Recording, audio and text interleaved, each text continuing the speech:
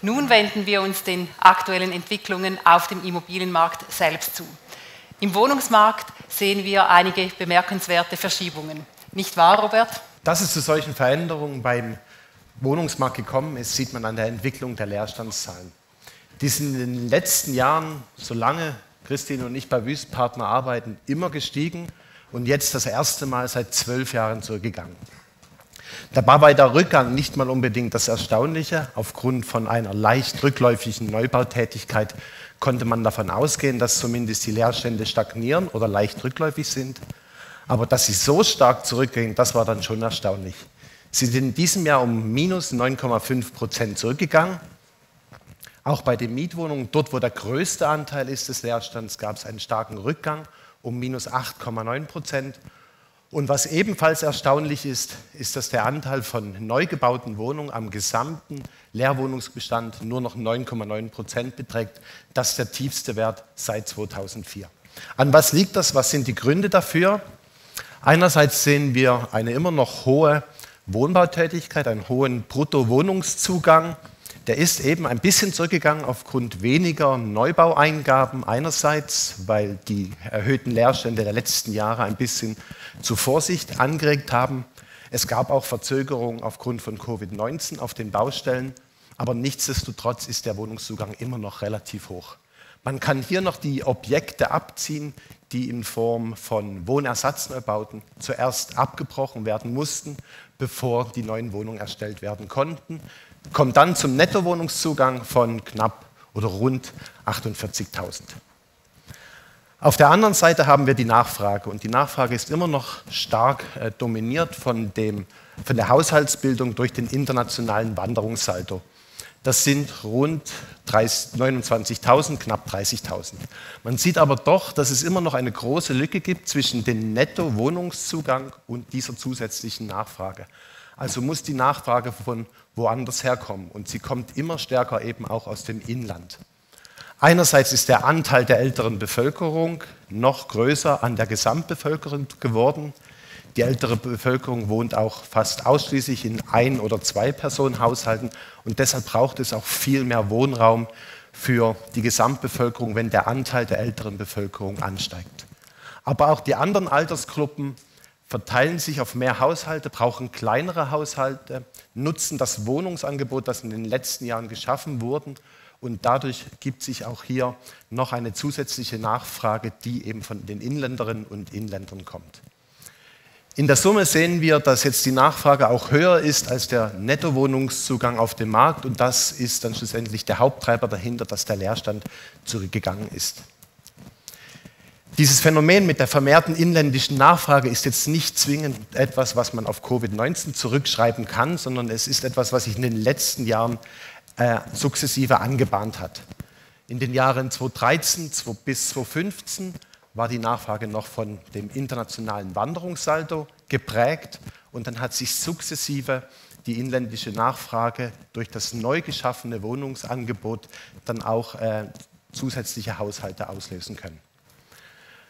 Für das Jahr 2030 erwarten wir eine ähnliche Entwicklung. Die inländische Nachfrage wird immer noch einen großen Teil an der Gesamtwohnungsnachfrage ausmachen. Vielleicht nicht mehr ganz so stark wie in den letzten beiden Jahren, 2019 oder 2020. Das ist also die eine strukturelle Veränderung, die die Nachfrage hier erlebt hat. Eine andere strukturelle Veränderung hat sich schlagartig mit Covid-19 eingestellt. Das ist die Suche wieder nach größeren Wohnungen, sodass man Homeoffice und Privatleben gut miteinander verbinden kann. Im Mietwohnungsmarkt sind vor allem drei bis viereinhalb Zimmerwohnungen jetzt vermehrt gefragt. Auch kleinere Haushalte möchten eher solche Wohnformen, um eben Privat- und Arbeitsleben zu Hause gut miteinander verbinden zu können. Eine andere strukturelle noch Veränderung ist die räumliche. Das sehen wir hier, die rot eingezeichneten Regionen sind diejenigen Regionen, wo die Nachfrage sich in Relation zur Größe am stärksten verändert hat.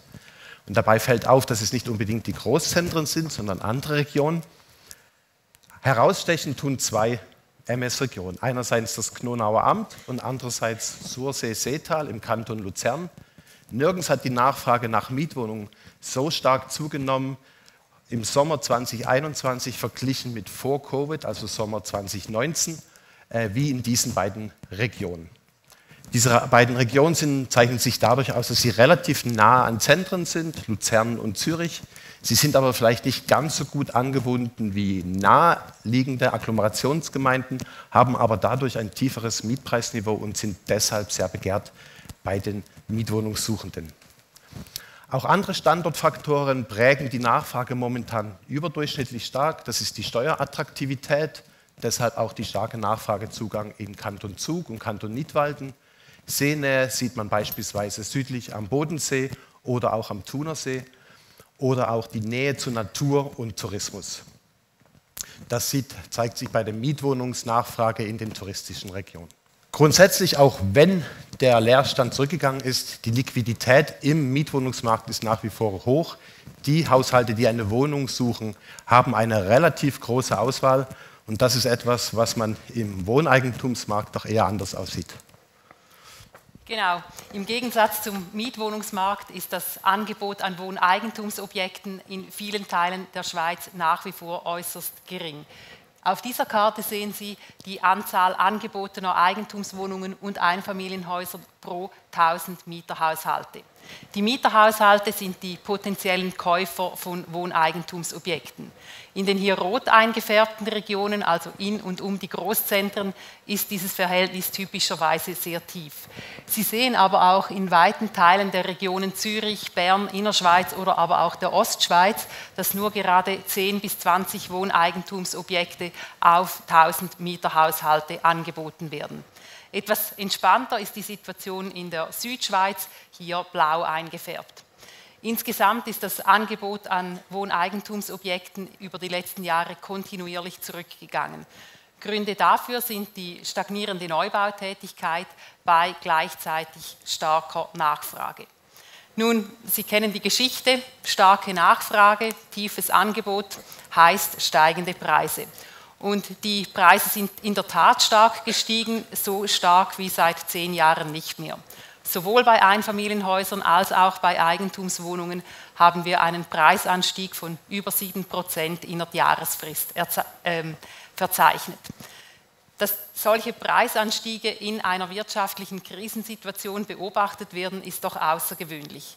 Wir verzeichneten einen BIP-Rückgang im letzten Jahr um rund 3 Prozent. Die Arbeitslosigkeit ist gestiegen. Dennoch, die Schweizer Haushalte verfügen seit Beginn der Corona-Pandemie über tendenziell mehr finanzielle Mittel. Die Immobarometer-Befragung bei den Schweizer Haushalten in diesem Jahr hat gezeigt, dass sich in über 50 Prozent der Haushalte die finanzielle Situation nicht verändert hat während der Corona-Pandemie. Hier dargestellt an den beiden Balken in der Mitte.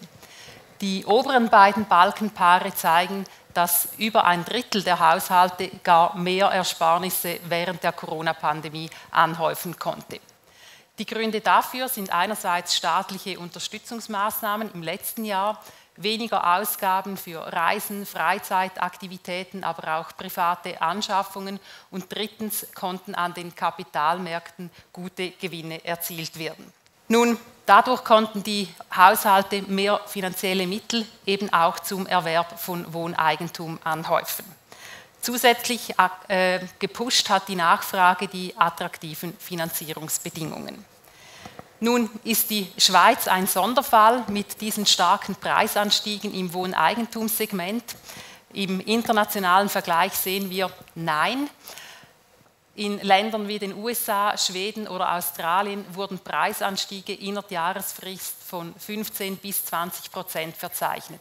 Aber auch in Nachbarstaaten wie Österreich oder Deutschland muss heute über 10 Prozent mehr bezahlt werden für ein Einfamilienhaus als noch vor einem Jahr.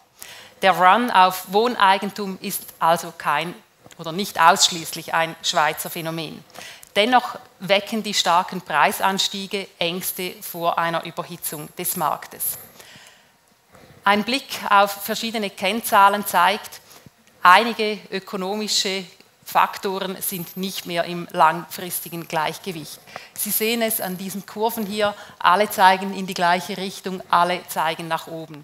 Sei es das Hypothekarvolumen versus Bruttoinlandprodukt oder die Einfamilienhauspreise gegenüber den Einkommen oder unten die Wohneigentumspreise im Vergleich zu den Wohnungsmieten. Die Message ist klar, Wohneigentum wurde zu einem überproportional teuren Gut. Bei solchen Preisanstiegen ist natürlich auch das Korrekturpotenzial nach unten größer geworden. Vor allem im Szenario einer Stagflation müsste mit deutlichen Preisrückgängen im Wohneigentumssegment gerechnet werden. Doch aktuell ist der Markt nach wie vor sehr angespannt und entsprechend gehen wir nicht von einer negativen Preisspirale aus. Für die Stabilität des Wohneigentumsmarkts wäre eine Drosselung dieser Preisspirale aber dennoch äh, wünschenswert. Nun, in der Theorie ließe sich das erreichen, indem das Angebot ausgedehnt würde. Doch was heißt das konkret? Mehr Bauland, äh, das lässt sich bekanntlich nicht so einfach vermehren. Oder wir schaffen mehr Platz auf dem heute verfügbaren Bauland, sprich erhöhen die Ausnutzung. Bei beiden Varianten kommt die Raumplanung ins Spiel und Robert, wo liegen da die Herausforderungen? Auf der einen Seite haben wir die restriktive Raumplanung, die mit ihrem obersten Ziel die Ausdehnung der Siedlungsfläche das bremsen möchte und stattdessen die Siedlungsentwicklung nach innen vorantreiben möchte. Mit der Inkraftsetzung des revidierten Raumplanungsgesetzes ist praktisch an keinem Ort in der Schweiz mehr noch eingezont worden. Und das Bauland fehlt jetzt auch für, zur Wohnraumerstellung, insbesondere im Wohneigentumsmarkt, für die jetzt wieder stärker ansteigende Anzahl an Haushalten. Und auf der anderen Seite haben wir die immer länger andauernden ultraexpansiven Geldpolitiken von den internationalen Notenbanken, die billiges Geld in die Märkte pumpt, so die, Risiko, die Anlagemöglichkeiten im risikoarmen Bereich beschränkt und eben auch das Finanzierungsumfeld im Wohneigentumssegment attraktiv macht und, hier die Nachfrage pusht. Der Aufprall von dieser beiden Welten ist dann eben schlussendlich auch der Motor hinter den Preisanstiegen und die Auswirkungen zeigen sich beispielsweise an der folgenden Grafik. An der horizontalen Achse sehen wir die Quadratmeter unüberbautes Bauland in einer MS-Region pro Haushalt im Jahr 2017. Und der vertikalen Achse sieht man in der entsprechenden MS-Region die Anstiege von Wohneigentum in Form von Eigentumswohnungen seit dem Jahr 2017 bis heute. Und man sieht einen statistisch signifikanten Zusammenhang zwischen diesen beiden Größen. Je kleiner die Zahl, Quadratmeterzahl an unverbauten Bauland ist pro Haushalt in einer MS-Region, desto stärker war der Preisanstieg für Eigentumswohnungen. Das unverbaute Bauland ist jetzt zwingend nicht die einzige Größe, um zu beurteilen, wo wie gut Wohnraum erstellt werden kann, aber sie hat doch entscheidenden Einfluss. Sicher auch noch einen Einfluss, wie die Gemeinde unbebautes Bauland mobilisieren kann. Man sieht hier, dass die Raumplanung dem einen Ziel, also der Bremsung der Ausdehnung der Siedlungsfläche, etwas näher kommt, aber bei der Erreichung des anderen Ziels, der Siedlungsentwicklung nach innen, dort stockt es noch etwas. Was wir hier sehen, ist die Verteilung der Bauarten von den neuen Wohnungen. 34 Prozent aller neuen Wohnungen werden als Wohnersatzneubau äh, konzipiert und gebaut. 23 Prozent ist Umnutzung nach Abbruch. Das heißt, Nicht-Wohnobjekte werden erst abgerissen, durch Wohnobjekte ersetzt. 2 Prozent ist Aufstock und Anbau und 41 Prozent Bauen auf der grünen Wiese. Das unterscheidet sich etwas zwischen den Segmenten Mietwohnungen, Eigentumswohnungen, Einfamilienhäuser. Wenn man es aber vergleicht mit Zahlen aus dem Jahr 2018, 2019, sieht man, dass sich die Anteile nicht mehr verschieben, also die Siedlungsentwicklung nach innen nicht wirklich vorankommt. Das kann damit zusammenhängen, dass beispielsweise die Ausnutzungsbeschränkungen zu stark sind an der Mehrwertabgabe, an langwierigen Baubewilligungsprozessen, Lärm Vorschriften oder auch an der bürgerlichen Opposition. Aber in der Summe ist insbesondere bei der Schaffung von Wohnraum im Wohneigentumssegment momentan zu wenig Platz und Raum vorhanden. Und das ist eine der wesentlichen Herausforderungen für die Raumplanung auch in den kommenden Jahren. Aber die Raumplanung wird sich auch noch weiteren Herausforderungen stellen müssen. Die nehmen jetzt, werden nicht weniger, sondern werden eher mehr. Einerseits haben jetzt aufgrund von Homeoffice die Ausgangslage, dass sich die Nachfrage nicht mehr nur auf die Arbeitsplatzzentren konzentrieren muss, sondern sich wieder breiter über das Land verteilen kann. Hier stellt sich die Frage, wie man mit diesem Trend langfristig umgehen müsste. Die Raumplanung spielt auch eine wichtige Rolle bei der Erreichung der Klimaziele und bei der Reduktion des CO2-Ausstoßes, muss dort also eine Balance finden, um die, auch die strukturellen Veränderungen bei der Mobilität mit einzubeziehen können. Und ähm, Raumplanung wird auch beim preisgünstigen Wohnraum weiterhin eine wichtige Rolle spielen, aber eine noch wichtigere Rolle insbesondere bei der Schaffung von preisgünstigen Wohneigentum. Wir sehen, die Herausforderungen sind vielfältig. Wir, die Immobilienmarktakteure und die öffentliche Hand, hier gilt es, zielgerichtete Lösungen zu finden, einige Stoßrichtungen der letzten Jahre auch nochmal zu überdenken, um eben auch der geänderten Ausgangslage gerecht zu werden. Von diesen mittel- bis langfristigen Herausforderungen nun wieder ein Blick zurück auf die nähere Zukunft und auf unsere Einschätzung fürs nächste Jahr. Ja, die Corona-Pandemie hat uns gelehrt, selbst kurzfristige Prognosen können äußerst schwierig sein. Dennoch wagen wir uns wie gewohnt an einen Ausblick zum Immobilienmarkt im nächsten Jahr. Doch schauen wir zunächst das Wirtschaftsumfeld an. Die Schweizer Wirtschaft ist gut durch die Corona-Pandemie gekommen. Wir sind wieder auf Wachstumskurs und entsprechend erwarten wir fürs nächste Jahr ein Wirtschaftswachstum von starken 3,5 Prozent. Der attraktive Arbeitsmarkt dürfte wieder vermehrt Personen aus dem Ausland anziehen. Das führt zu zusätzlicher Haushaltsbildung. Gleichzeitig haben wir von Robert gehört, kommt auch aus der inländischen Bevölkerung ein weiteres Haushaltswachstum auf uns zu. Insgesamt rechnen wir mit einem Plus von 1,5 Prozent im nächsten Jahr. Die deflationäre Phase in der Schweiz ist vorerst zu einem Ende gekommen. Aktuell verzeichnen wir eine Inflationsrate von knapp einem Prozent. Die hohe Teuerung ist zurückzuführen auf starke Anstiege bei den Energiepreisen, Lieferengpässe, aber auch ein Nachholbedarf äh, bei vielen Gütern infolge der Corona-bedingten Zwangspause. Im internationalen Umfeld sehen wir, dass wir nicht alleine dastehen. Äh, Im Gegenteil, zum Beispiel in der Eurozone liegt die aktuelle Teuerung bei 3,4 Prozent. Das ist ein Zehn-Jahres-Hoch. Je länger die Inflation dauert, desto mehr rechnen auch die Investoren damit, dass die Inflation noch weiter steigt. Entsprechend erhöht sich auch das Risiko in der Schweiz einer anhaltenden höheren Inflation. Doch die Mehrheit der Prognoseinstitute geht aktuell davon aus, dass sich die Inflation unter den aktuellen Höchstwerten einpendeln wird, aber über dem Mittel der letzten Jahre zu legen kommt. Also ein Plus von 0,6 Prozent scheint hier wahrscheinlich. Werfen wir einen Blick auf die Zinsen bzw. auf die Renditen der zehnjährigen Bundesobligationen. Das 10-Jahres-Mittel von 0,2 Prozent wird aktuell mit minus 0,3 Prozent deutlich unterboten. Nun, wir rechnen nicht mit einer äh, hohen Inflation, also wir gehen davon aus, dass sich diese unter der magischen 2%-Marke einpendeln wird und entsprechend gehen wir auch nicht von einer drastischen Zinswende aus. Eine Annäherung ans langjährige Mittel erscheint aber wahrscheinlich. Was sind nun die Folgen dieser Perspektiven für die Immobilieninvestorenmärkte?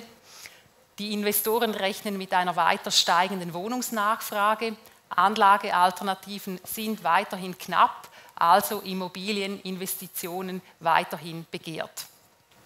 Wir haben die Renditen oder die Bruttoanfangsrenditen aller Transaktionen analysiert, die wir in diesem Jahr beobachten konnten und die mittlere Bruttoanfangsrenditen dieser Wohnliegenschaften und gemischt genutzten Liegenschaften liegt bei 3,4 Prozent. Das starke Interesse der Immobilieninvestoren, vor allem an Wohnobjekten, spüren wir auch auf dem Baumarkt.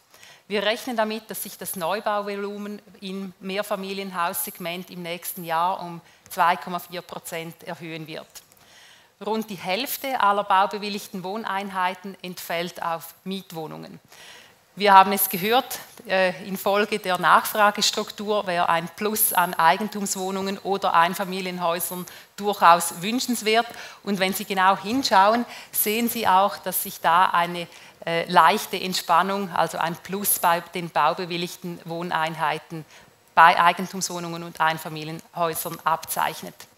Doch dieses Zusatzangebot äh, ist mehr ein Tropfen auf den heißen Stein, denn die Nachfrage bleibt weiterhin hoch, auch wenn das Niveau der Hypothekarzinsen leicht anziehen dürfte. Ja, wir kommen zu den Prognosen. Äh, bei den Einfamilienhäusern rechnen wir mit weiteren Preisanstiegen in allen Regionen, nicht ganz so stark äh, wie im letzten Jahr oder wie im laufenden Jahr, aber doch immer noch in einigen Regionen mit über drei Prozent. Auch im Eigentumswohnungssegment haben wir einen anhaltenden Nachfrageüberhang und entsprechend fallen auch da unsere Prognosen für alle Regionen positiv aus. Corona-bedingt hatten wir einen starken Anstieg der Nachfrage nach Zweitwohnungen beobachtet. Das dürfte weitergehen und entsprechend äh, sind auch unsere Prognosen für den Kanton Graubünden äh, deutlich positiv. Etwas entspannter ist die Situation im Tessin. Da sind bereits viele Wohneigentumsobjekte auf dem Markt und entsprechend sind hier die erwarteten Preisanstiege etwas geringer. Nun, so groß der Nachfrageüberhang beim Wohneigentum, so hoch ist das Überangebot an Mietwohnungen immer noch in vielen Teilen der Schweiz. Über die letzten zehn Jahre haben sich die Angebotsmieten für Mietwohnungen nicht verändert im Mittel.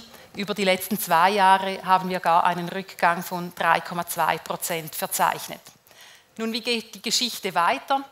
Äh, wir gehen in allen Regionen für äh, von negativen oder stabilen Preisentwicklungen aus. Infolge der Homeoffice-Möglichkeiten hat sich, wie wir von Robert gehört haben, der Suchradius vieler Haushalte tendenziell ausgedehnt. Das heißt, die Nachfrage in den günstigeren Wohnregionen wird tendenziell gestützt, während die doch immer noch angespannte Situation auf den Mietwohnungsmärkten in den Großzentren etwas entlastet wird. Insgesamt fallen unsere Preisprognosen also geografisch gesehen relativ ausgeglichen aus. Homeoffice, die Alterung der Gesellschaft, fehlendes Bauland und auch Klimawandel, das sind Faktoren, die jetzt die Gegenwart, aber auch die Zukunft zu strukturellen Veränderungen im Wohnungsmarkt führen werden.